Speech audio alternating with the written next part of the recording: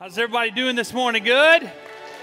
Oh, come on, 945. How's everybody today? Come on. Let's be excited. I'm excited and honored to be able to be uh, delivering, if you will, the third week of He Shall Be Called. Uh, can you help me do this really quickly and welcome everyone who's watching online and in the room for the first time? Let's celebrate them. Come on. Come on. Hey, also, I just want to thank you as part of the staff here at Journey for believing in the vision and uh, and also following what God has called us to do and and and, and uh, in our giving and our tithe. And so uh, I know that you've been updated on that, but I, I, wanted to bring to you that we've raised as a church or given to missions for our next year's budget uh, over $165,000. So that's pretty incredible. Come on, man, that's insane. So we get the opportunity to love people in our backyard and internationally and you guys need to understand every time someone's life has changed you're a part of that. And so thank you so much. Uh, like pastor mike said that money goes 100% goes to missions. It does not go into the pockets of us. It goes to missions and missionaries and people and families all around the world. Um, we are in the series He Shall Be Called. This week we're going to be talking about Everlasting Father. Um, you've heard from Pastor Mike over the last couple of weeks as he's been talking about the names of Jesus in this passage of Isaiah chapter 9. And so um, we're going to be talking about Everlasting Father today. He'll finish up next week, Prince of Peace. So let's do this. Let's pray and we're going to jump in. You ready? Here we go. God, we are so thankful and grateful for uh, our first service and the gospel going forth in that service. Uh, we're praying for the same here, God. We're praying as it goes forth, God, that it uh, would be life transforming.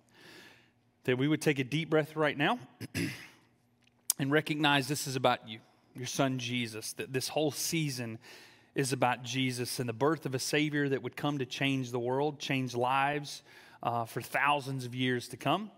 Father, we are uh, thankful that we get to sit in here and watch online in freedom, hear about your gospel. Now, God, as we hear it, we ask that it transform us, God, that we would carry it, not leave it here, but carry it with us and impact those around us for the kingdom. In your name we pray. Everyone said, Amen.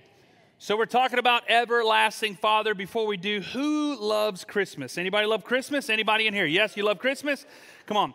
I love Christmas. Uh, some of, one of my favorite parts of Christmas is uh, is the Christmas music. Do you guys enjoy Christmas music?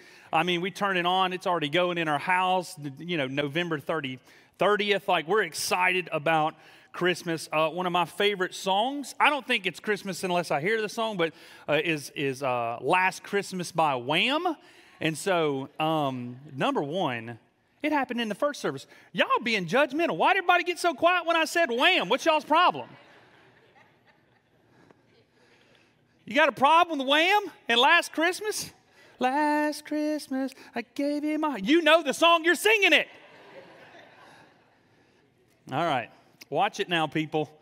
It's a great song, it's a great tradition around my house, and uh, I can't help that I'm just drawn to it. So, uh, I love Christmas. I love Christmas music. Uh, I love the food. I love the season. I love the opportunity to, to worship our Savior and the, the, uh, the thing that transformed the world, transformed my life is the birth of a Savior. Uh, but also understand that Christmas is not great for everyone because of maybe a family member has passed, or Christmas has never been great in your family for one reason or the other. Regardless, good or bad, I want you to know that I love you, and we're excited about Christmas Eve services coming here next week. And I'm excited to talk about Jesus today and the everlasting Father. And um, I'm praying and believing that God's going to encourage you this morning. Um, we're going to jump into what I would call our series verse that we've been talking about each and every week, found in Isaiah chapter 9. This is what it says. We're going to break it down a little bit today. Uh, it says, For to us a child is born, to, a, to us a son is given, and the government will be on his shoulders. And he will be called Wonderful Counselor, Mighty God, Everlasting Father, and Prince of Peace. And like I said, Pastor Mike is going to pick up Prince of Peace, finish out the series Prince of Peace next week during our Christmas services. Um, This verse is pretty important because Isaiah is talking to us about the future role and impact that Jesus would have on the world and eternity. He's also talking to the divine nature of who Jesus is, which is important to us if you are a follower of Jesus in the room or online, because a lot of the world believes that Jesus was not a real person. Or maybe he was just an ordinary man, or maybe he was just a religious leader, or just a good person doing good deeds. That's all that he was. But as a follower of Jesus, we understand that he is God in human form. And so that's important to us to recognize what Isaiah is doing here. Now, you may be wondering, how can Jesus, the Son of God, be called an everlasting Father? Because that can be confusing if you don't understand what Isaiah is saying here. But Jesus made it very, very clear in the book of John throughout the Gospels that he came to reveal the Father. So in John chapter 14, we're going to look here in just a second. Um, we have Jesus and the disciples, and they're having conversation and they're talking. Show us the Father. I'm going to the cross. All of these things are happening. And what's really funny about the disciples, and help, I hope this helps you, is that these guys did ministry with Jesus for three years and they still ask dumb questions. Okay?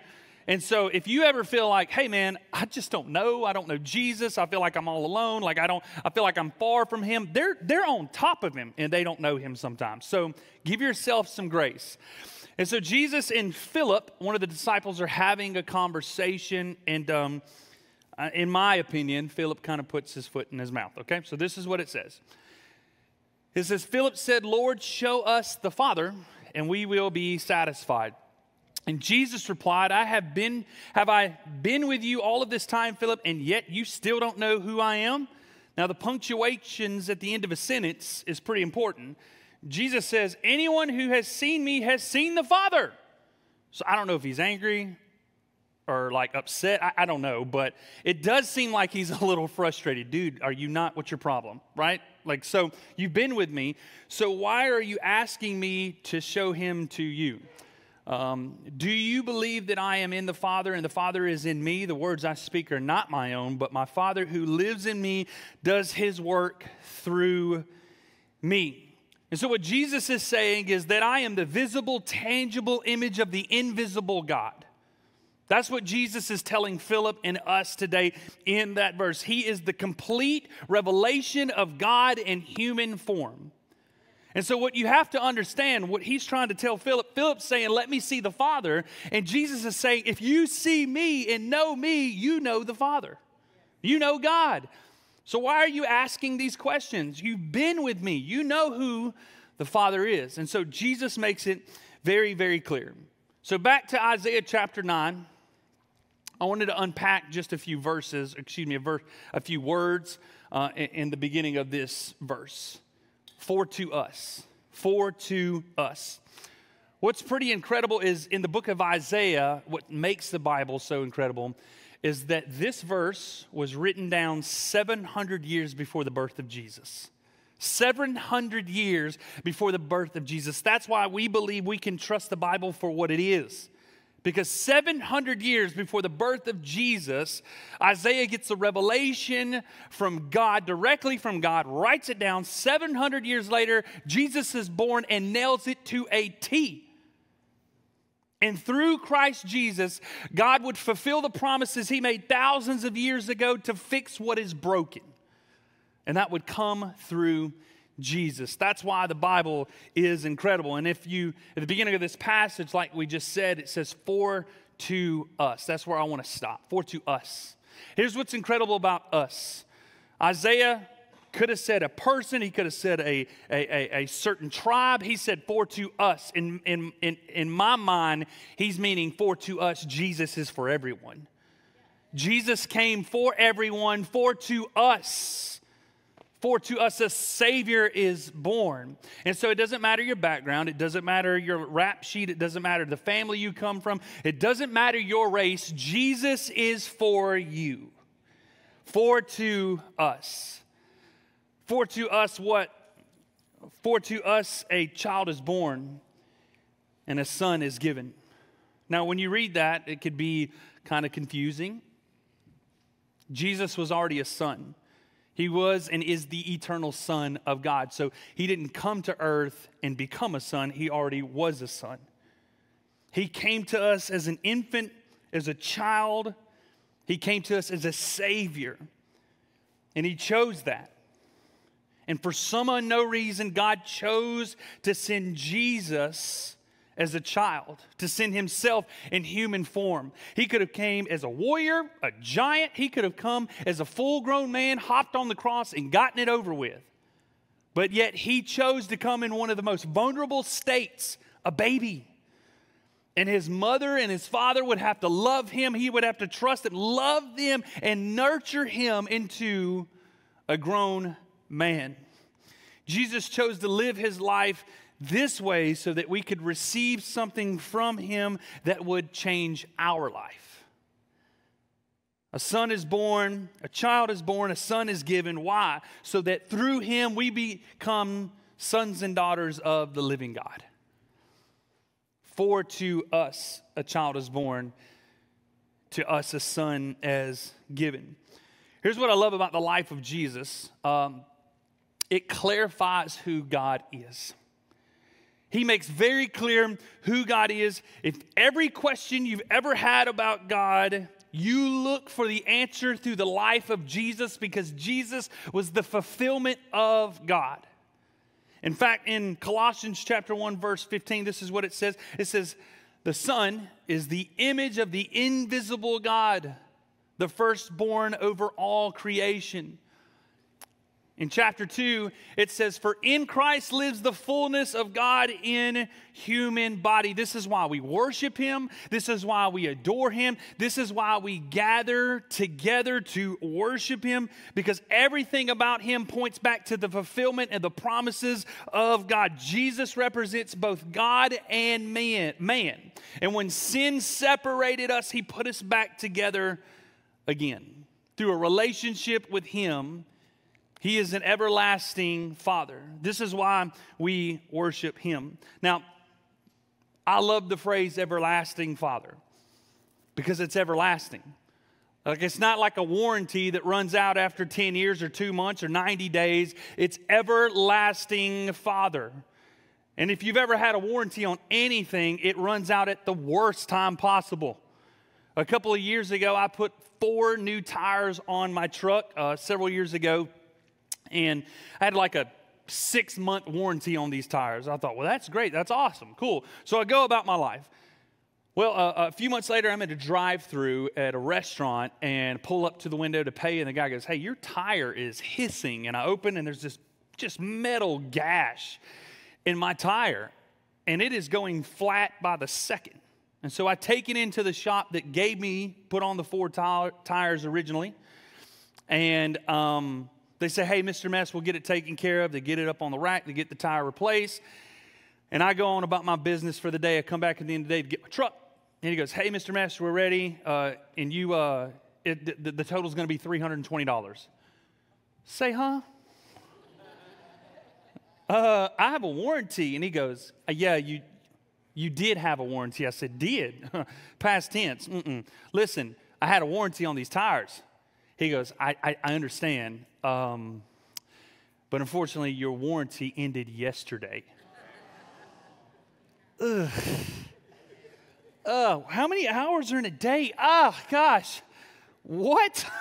Why does that always happen when the refrigerator breaks? You got a two year warranty and it's not usable anymore because it ended yesterday. That happens all of the time. But what's incredible about Jesus and his promises is that his love for us never runs out. It's not a warranty that can run out, right? It's an everlasting warranty. Listen to me, He's the same yesterday, today, and forever. His love for you is the same yesterday, today, and forever. It won't run out, it doesn't have a stipulation, and after 20 years, it won't change. He wants to show you the true love of an everlasting Father. That's what's incredible about that phrase, everlasting Father. But the word Father, for a lot of you means nothing. Or maybe it's tied to something hurtful. Maybe there's a good, there's a bad, and an ugly when it comes to that word father. For me, uh, my dad, the first eight years of my life, my dad was an addict. And so for eight years of my life, my dad wasn't really around. But now I'm 38, and for the last 30 years, he had given his life to Christ, and he has been the father that we needed, and the dad that I needed, and the father and the husband that uh, my mother and uh, we needed. And he's been so good to our family and to my children. So that's a good story. A lot of you probably have a good story. Some of you may have a bad story where your dad passed away at a young age and you never really got to know him. And you're not really hurt by it, but you wish, at this point, but you wish. And maybe you never had anybody replace that father figure in your life. But then there's the ugly, right? There's the ugly where you had a verbally abusive, physically abusive father. You had a father that walked out on you at three years old and you've never seen him since. And so this word, father, means nothing to you. All it does is bring up bad thoughts. But I don't know what your relationship on earth is like with your father. But here's what I know in a relationship with an everlasting father, that relationship comes with a love that never fails, that never gives up, and you have never experienced before if you are not in a relationship with him. And it does not expire and it does not end, and he loves you just the way you are. And He's never going to run out on you. And He has purpose and He has plan, and that love does not expire like warranties. Jesus is the gift that we didn't know we needed, and yet God provided it. And in a relationship with Him, we get new purpose, we get new life, we get eternal life, and we are welcomed as children of God into an eternal family. In fact, it says in uh, Galatians chapter 3, it says, So in Christ Jesus, you are all children of God through faith. In Christ Jesus, your faith in Jesus makes you a child of God. And only through Jesus does that happen. And that is good news. That is good news for us today. Now, when it comes to life, it all started what we believe with Adam thousands of years ago. Uh, Adam's was, uh, Adam was the first human. He was, uh, his social security number is 000000001. He's the original OG. That's original gangster, okay? Just for everybody wondering. But unfortunately, he and Eve made a decision that brought sin into the world and separated us from God. In fact, that decision brought death to us. But the Bible says that Adam may be the first human, but Jesus is the last Adam. Because this is what it says in 1 Corinthians. It says, the first man, Adam, became a living person, but, but the last Adam, that is who? Jesus Christ, is a life giving spirit. So while Adam's decision brought destruction and death, Jesus' birth, resurrection, brought us life. And so what we have to understand is that Jesus made us a family again. He's an everlasting Father. One of the reasons why Jesus carries the title as the last Adam is because God created mankind for a relationship, but sin and a decision to do what they wanted created sin, and it, that sin severed our relationship. And so Jesus came back and he, he came in and he restored and he redeemed that relationship. And so he bridged the gap that sin created. He is an everlasting Father. And so here's what I wanted to do this morning is I, I just wanted to give you a few thoughts that I've seen throughout my life that help me understand and maybe clarify everlasting father. Who is jesus? His righteousness? Uh, how i'm adopted into his family? How i'm kept by him? And so here's the first thought we already kind of talked about. It was we are adopted through christ we are adopted through christ we are adopted through christ now um, I've never adopted a child, but I did ask some of my friends who have been through that process, and it's a big process. It's big steps. And uh, it starts, right, by just figuring out, hey, we want to adopt internationally from the backyard or like from the state right around us. Like, we, um, then you go to an adoption agency and you fill out paperwork and you start with classes and Okay, now we have the opportunity to maybe meet a child and they meet us. And do they like us? Do we like that child? And then the agency approves, and then you sign paperwork, and then they move in, and then life starts. And there's so many other steps in between for sure. Now, Paul, when he talks about adoption in Ephesians, this is pretty incredible. He understood that in Roman culture, if you were adopted by a family, it would mean that your legal standing would completely change. Your legal standing would completely change. Any debt you owed, you came from a poor family, you have a long rap sheet, doesn't matter. As soon as the papers were signed, your old life was completely wiped from history. In fact, the government couldn't even bring it up anymore and throw it in your face. That person is no longer a person. You are new and you get new privileges with your new family. And what Paul wants us to understand today is in a relationship with Jesus, that's how it works with us. The old person is dead. The old person is gone. The old life is gone. Jesus has made us a new person. Ephesians chapter 1 verse 5 says this. It says God decided in advance to adopt us into his own family by bringing us to himself through Jesus Christ. This is what he wanted to do and it gave him great pleasure. He has adopted us into a new family. We have to understand that Jesus represents our and your restoration into a new family and a new purpose. And so when the enemy wants to wake you up and tells you, hey, remember your old past, remember your old mistakes. No, no, no. I've been adopted through Christ Jesus into a new family. I'm a new person with a new purpose. We're adopted through Christ Jesus. Here's the next thought is that uh, we are righteous in Christ.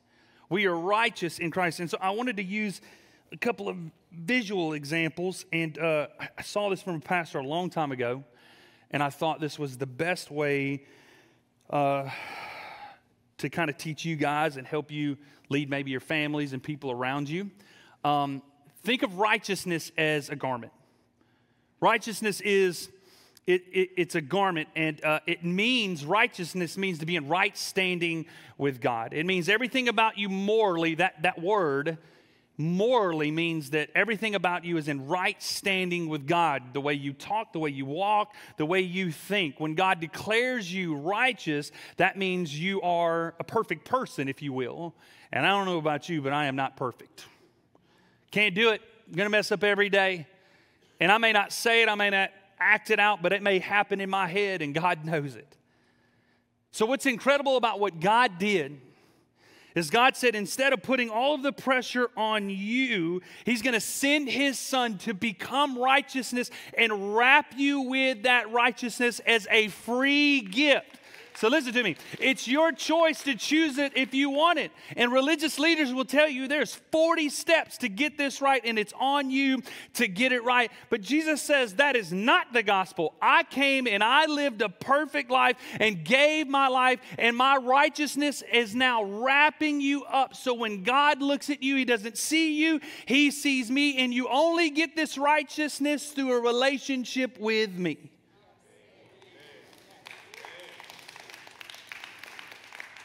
He is the righteousness. And so listen to me. This is what it says in Romans chapter 5. I don't want to skip this. It says, For the sin of this one man, Adam, we already talked about this, caused death to rule over many. But even greater is God's wonderful grace and his gift of righteousness. Righteousness for all who receive it will live in triumph over sin and death through this one man who? Jesus Christ. So listen to me. Jesus did it. It's done. You just have to receive it. You can keep waking up every single day wondering how you're going to solve the world's problems, but God is telling you, I've already solved it. Just receive it. And now you get to wake up every single day when you receive it and go, I'm not going to worry about anything else because I am righteous in Christ. Listen, I am the righteousness of Christ in God. I don't have to worry about this anymore. He has solved it. He's an everlasting Father. And so here's the last thought for here's the last thought for the day. It's this right here. Is we are kept by Christ. we are kept by Christ. When you're having a rough day, I want you to remember this passage that we're going to read here in just a few moments. Um, write it down, take a picture, put it on your, your screen on your phone, put it on the dash of your car, put it on a mirror, a window, because it's going to help you through that day. So, this is what it says, Jude chapter 1. It says, To him who is able to keep you from stumbling and to present you before his glorious presence without fault and with great joy. To the only God, our Savior, be glory and majesty and power and authority through Jesus Christ our Lord before all ages, now and forevermore. Exclamation point, amen. So here's what's happening in this passage. How many of you have um, ever been like mountain climbing? Anybody? Hiking, anything like that? No? Anything? Okay, cool. Awesome. Great. Awesome. Um, number one, I understand that this is not mountain climbing rope. Don't destroy my illustration, okay? But let's just say that it is.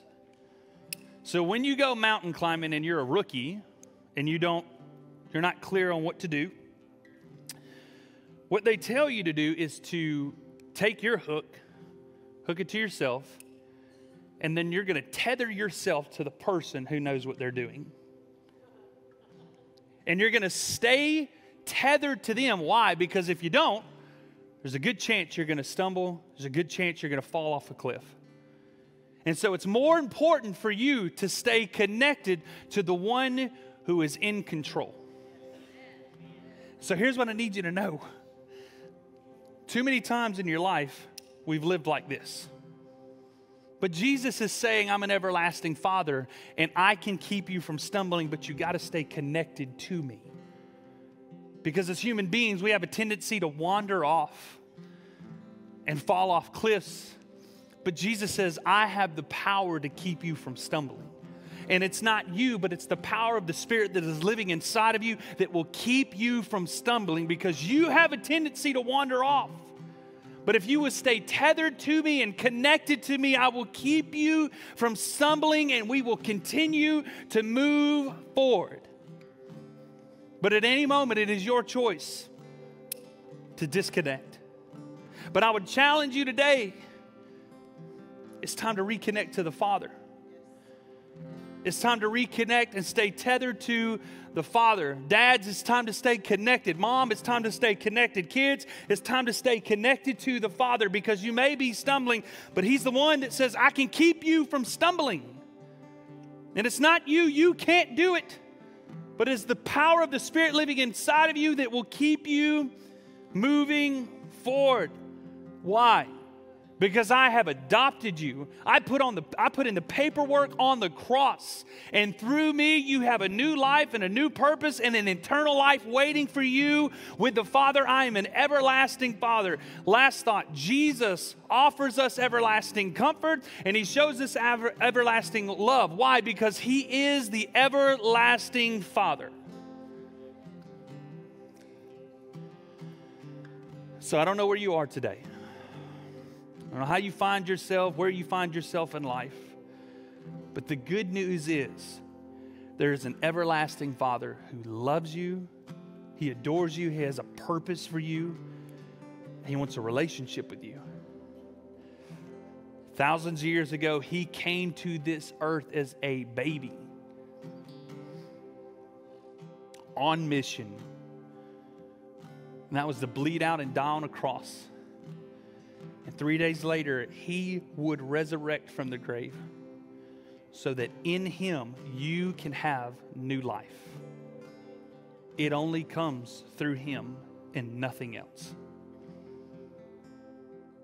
And so I would challenge you today if you leave this place the same, you made that choice. you have an opportunity to connect today and leave changed forever because you have an everlasting Father that loves you. And He doesn't change. Everything about the world changes. He does not. And that is scripture, that is the gospel, that is the truth. And I challenge you.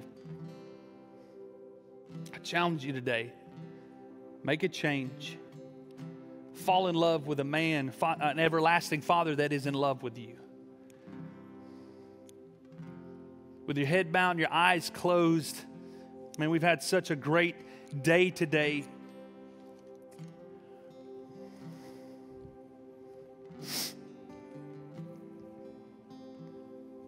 Father, we are so grateful for your scripture, so thankful, God, for your words.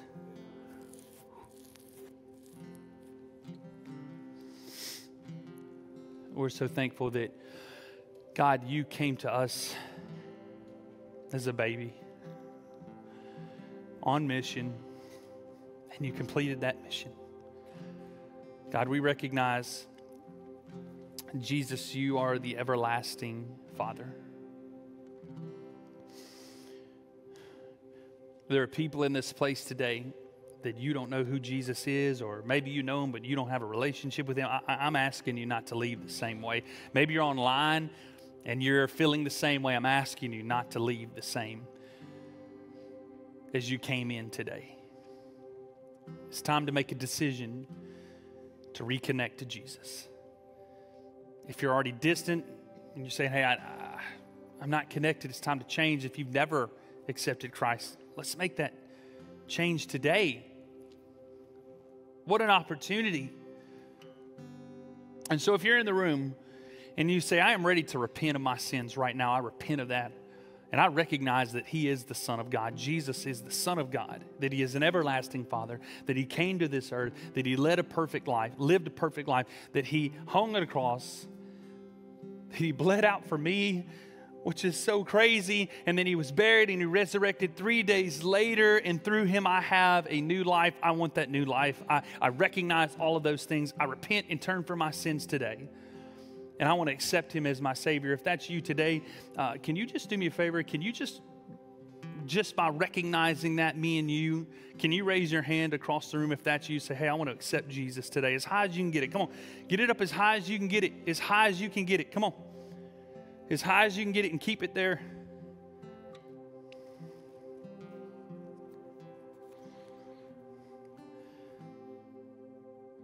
Several hands across the room. God, we are so grateful for new life in these people's lives that just raise their hand to accept you. We recognize, Father, that is a, a, a, an acceptance of you as their Savior. And Father, now it is on us and them as a church and them individually to, to help with the next steps and, and begin to walk in the right direction. The old life is gone, the new life is here through Christ Jesus. They have a new life. They have been adopted by you through Christ Jesus into an eternal family. And we believe right now their life is changed forever. And we are so thankful for that, Father. And for anybody in this room now, before we jump into a moment of worship, you're saying, hey, um, I need prayer. I need someone to talk to. We have a team at the, the front of our, our, our stage right here, ready to receive you, ready to pray with you, ready to love on you. Father, as we jump into worship, one more moment of worshiping the everlasting Father, thank you for what you've done here today. Thank you for what's happened in this service, the lives that have been changed forevermore. In your name we pray. Hey, can you stand to your feet together? Church, can we lean in and can we worship an everlasting Father? Come on.